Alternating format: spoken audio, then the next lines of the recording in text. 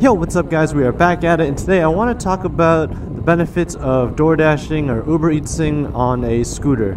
Alright, this just makes it so much better. Uh, yeah, it can be kind of repetitive, the daily grind of uh, you know, dashing or Uber Eatsing, uh, but when you're on two wheels, it doesn't even matter if you're stuck in traffic, you're just having a good time. Alright, it's just, it's so nice, especially with the, your knees in the breeze uh, you just find yourself smiling. It just makes the day fly by. Uh, but uh, you know, aside from just the fun factor, you you're going to save a lot of uh, money on gas. That's a big factor uh, that comes into your uh, your expenses for Uber Eats and gig work. It's the amount of gas you're going to spend. And on the scooter, I'm getting around somewhere around 90 miles per gallon in the city, which is really freaking good. Uh, compared to a car, I'd like to see you try to beat that. Um, you know, aside from the miles per gallon, and aside from just having a blast while you're riding, you know, another great thing is parking. All right, huge thing is parking.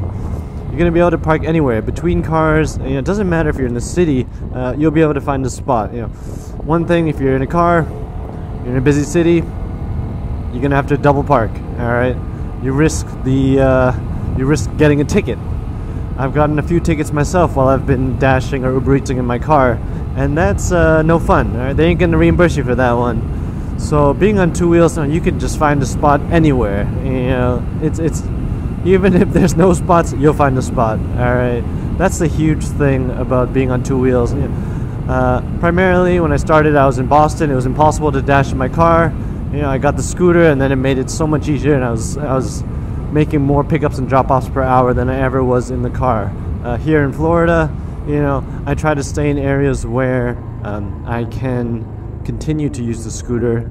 Uh, I know some spots I don't want to be wasting uh, time or, or, gas going too far, so you try to find like a home base and stick to that. I try to stay in an area that has a lot of restaurants as well as you should in your market. Uh, it just takes time finding out what works for you um, getting to know the rhythm basically of uh, your restaurant. You know which restaurants are good pickups, which ones are bad pickups, and it just takes time to learn that. But uh, if you want to give it a try in a scooter, my goodness, you ain't gonna regret it. All right, you're gonna have a good time all day long. The hour's gonna fly by. You're not gonna have to worry about uh, paying for a lot of gas, and you're not have to worry about finding parking. All right, so it just makes it so much easier. I know you're gonna have to wear an insulated bag on your back. You're gonna have to have your phone right here, easily accessible on like a RAM mount. Uh, and I'll put a link in the description to both of those that, uh, that I use that are very easy uh, to navigate while you're riding. Uh, but that's about it. I uh, hope this was helpful.